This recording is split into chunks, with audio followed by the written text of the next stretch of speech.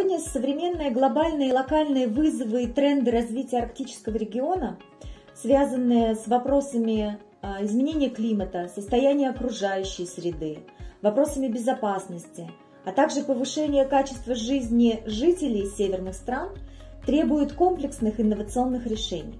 Наш э, проект «Прорывные информационные технологии для Баренц-Евроарктического региона» реализуется несколько лет. Целью проекта является поиск и разработка инновационных IT-решений для преодоления общих вызовов э, стран участниц проекта. И хотелось бы отметить, что проект объединяет в себе как академических партнеров, это университеты этих стран, так и э, представителей бизнеса, ну и, несомненно, органы власти тех или иных стран, территорий. Таким образом, концепция живой лаборатории объединяет потенциал науки, власти и бизнеса для решения конкретных задач с использованием прорывных информационных технологий. Ключевыми направлениями проекта являются развитие системы персональной идентификации граждан в системе государственных и муниципальных услуг, развитие умной системы управления отходами в северных городах, решение проблемы содержания зимних дорог в Баренцевом регионе, развитие IT-услуг в сфере оленеводства –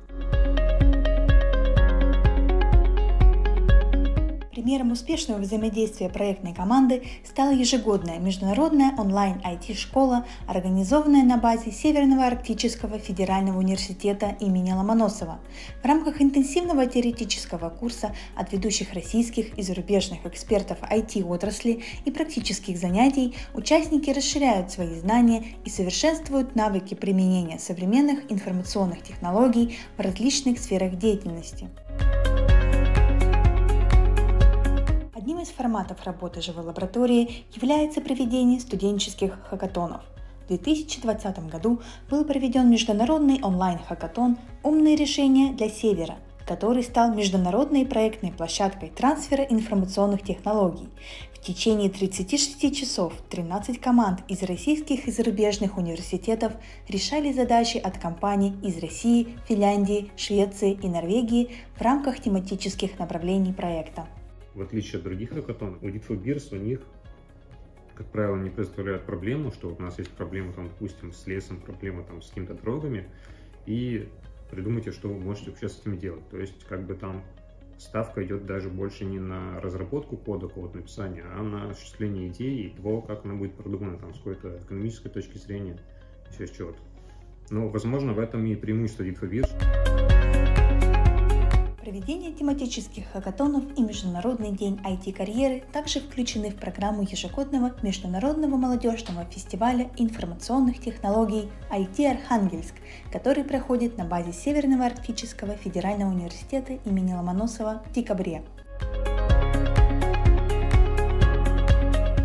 Успешным опытом сотрудничества в рамках проекта стала организация виртуальных стажировок на базе вузов-партнеров и бизнес-компаний. Это является уникальной возможностью для студентов приобрести опыт решения профессиональных задач в реальных условиях. Сначала проводится какой-то семинар, погружают проблему, потом э, ребята пробуют решить сами на хакатоне, и потом компании или же университеты берут ребят на стажировку. На стажировке а, есть шанс или доработать проблему, посоветоваться с ведущими представителями индустрии, в нашем случае это IT, как можно решить эту задачу. Прошлом году студенты Высшей школы информационных технологий и автоматизированных систем САФУ заняли первое место в хакатоне, после чего их пригласили пройти стажировку в IT-компании Бета Ассоциации Русофт. Даже, наверное, это дало не, то, не какие-то знания, а направление, в котором можно идти. То есть я посмотрел на реальную разработку, тому же там в команде были люди, которые работают с другой стороны, то есть это нужно было коммуницировать еще на английском языке. Там были люди, которые уже очень давно работают, всегда можно было спросить и увидеть какие-то новые, даже не то что способы, а методики, подходы, как можно подойти к проблеме, чтобы ее решить.